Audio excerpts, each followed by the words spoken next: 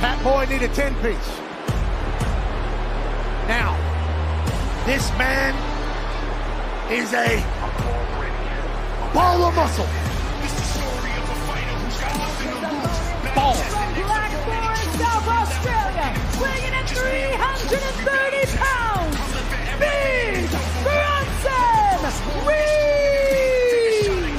He's a he's a human wrecking ball. Human bowling ball. Bronson Reed has been in the middle of this with Sheamus.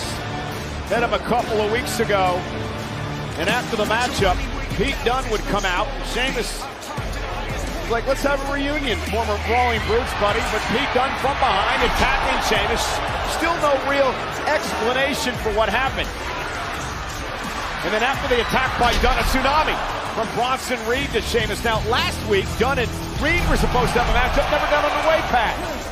And these three have just been fighting one way or another over the last few weeks. And gotten to the point where